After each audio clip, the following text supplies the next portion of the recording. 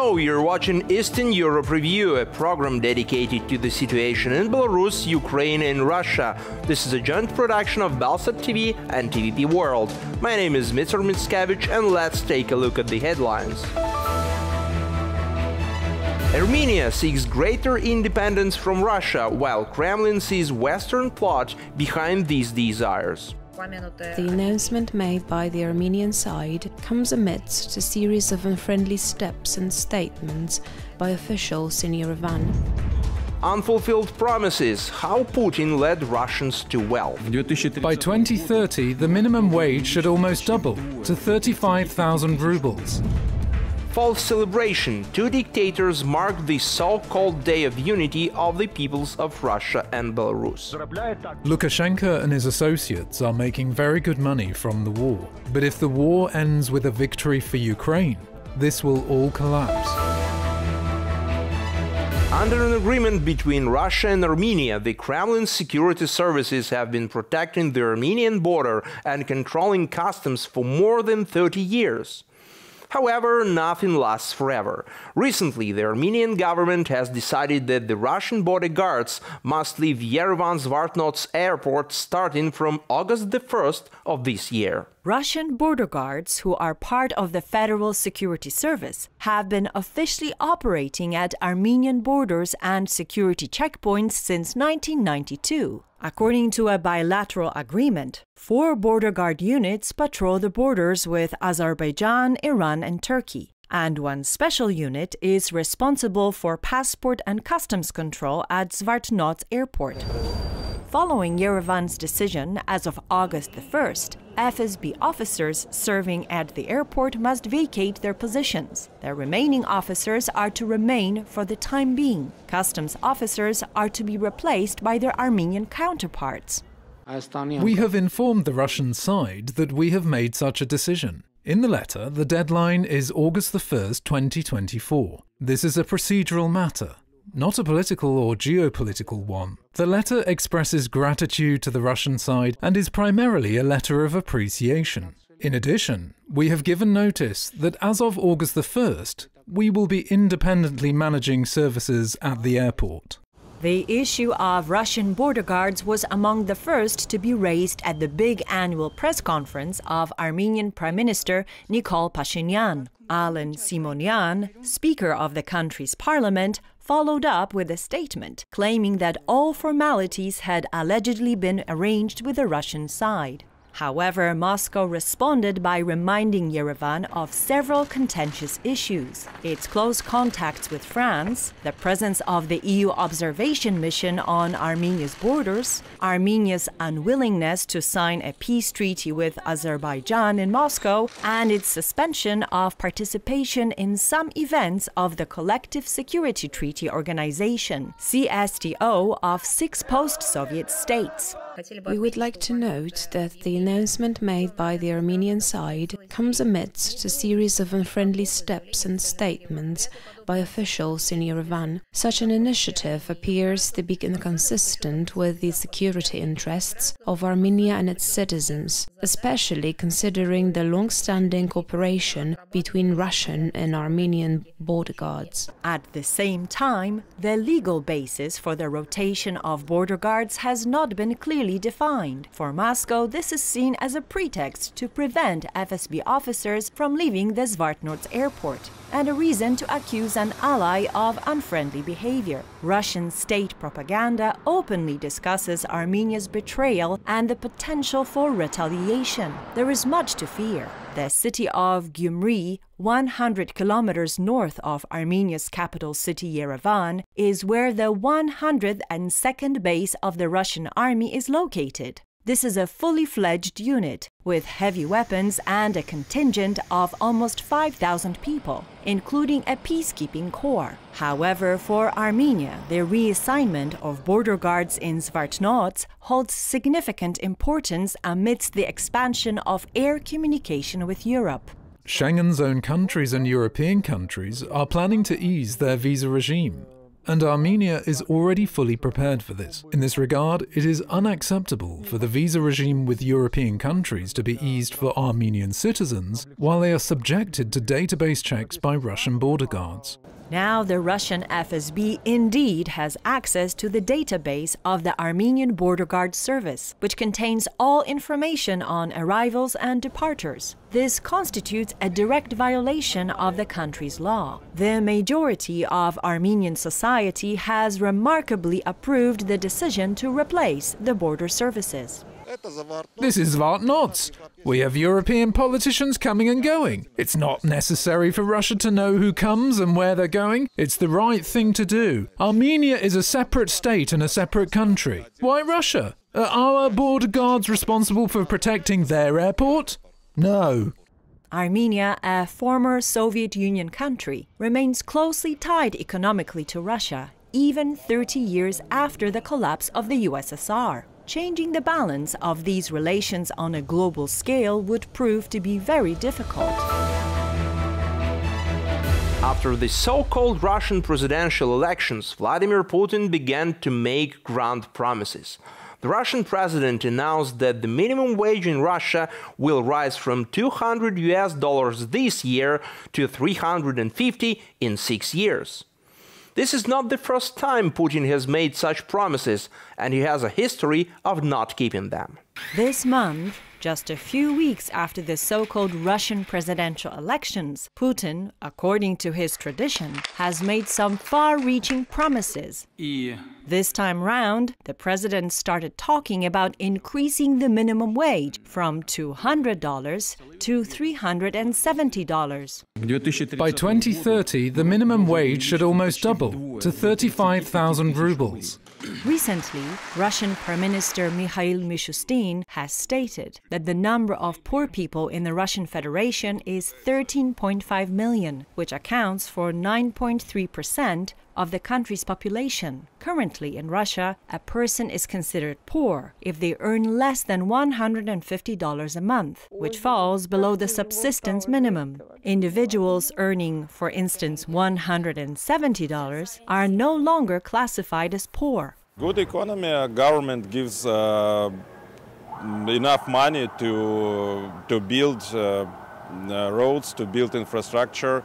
Uh, we feel no problems. In 2023, nearly 200,000 teachers left Russian schools. Independent journalists have calculated that this figure was the highest in seven years. Additionally, in 75 regions of Russia, teacher salaries are below the minimum wage, which is less than $200 per month. Putin has been in power for a quarter of a century now. Naturally, the question arises if, in the absence of war and sanctions, in a situation where foreign countries were happy to buy our oil and gas, the head of state was unable to do anything of what he is talking about now, then what grounds do citizens have to assume that now all of a sudden he'll be able to deal with it? The fact is, many promises have been made during Putin's reign. For example, the promise to catch up with and overtake Portugal. This pledge was made at the very end of 1999, when the young Russian Prime Minister Vladimir Putin issued his manifesto, where he outlined his vision for the future of the country, which was about to come under his leadership.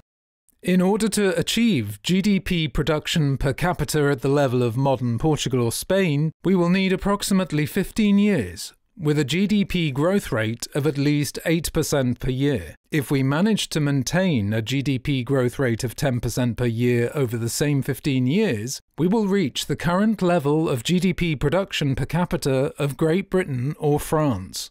After Putin's four presidential terms, reaching Portugal's level remains elusive. According to the World Bank, in 2022, Russia's GDP per capita was approximately $15,000, whereas Portugal's was $24,500. At the onset of his second term, the head of state declared an active campaign against dilapidated social housing. Consequently, the battle against slums and poverty has been a recurring theme in Putin's speeches for almost a quarter of a century. Надо довести до конца модернизацию жилищно-коммунальном хозяйстве. Мы с вами должны вытащить людей из трущоб. Нужно избавиться от бараков и аварийного жилья. Решить вопрос по аварийному жилью. However, in March this year, an extraordinary incident took place in the Saratov region. A resident of an old social housing apartment building in the city of Engels fell into the basement, flooded with sewage, along with her bathtub and toilet. According to the woman's neighbors, residents of the building had repeatedly complained about its condition, but the authorities refused to recognize it as unsafe. It was only after the bathroom, along with the apartment owner and her friend, collapsed into the basement that the mayor's office admitted that the apartment was uninhabitable. However, the rest of the building did not receive emergency status. Needless to say, the authorities are responsible for renovating social housing buildings. Putin and Lukashenko exchanged congratulations on the so-called Day of Unity of the peoples of Russia and Belarus. Putin emphasized that much had been done to strengthen the common institutions, while Lukashenko announced new prospects for cooperation. However, for Belarusians themselves, April the 2nd is hardly a holiday, despite the special celebrations organized by the authorities in Belarusian cities. The so called Day of Unity of the peoples of Russia and Belarus is taken seriously by the Lukashenko authorities. Festive concerts, as well as rallies, telecasts, and parades are being organized in the country on April the 2nd by the Administrative Resource Body. Special lessons are held in schools, and congratulations are sent to all levels, from heads of state to representatives of youth organizations. This holiday is a very significant event that unites the people of the Republic of Belarus and Russia into one big family. The issue of economic integration with Russia was first raised in Belarus during the 1995 referendum. The official beginning of the unity was inaugurated on April 2, 1996, when Lukashenko and Boris Yeltsin signed an agreement on the association of Belarus and Russia. As a sign of protest, people took to the streets of Minsk for a mass march, during which participants were detained and beaten by the security forces. A year later, the same two presidents signed an agreement on the creation of a union between Belarus and Russia.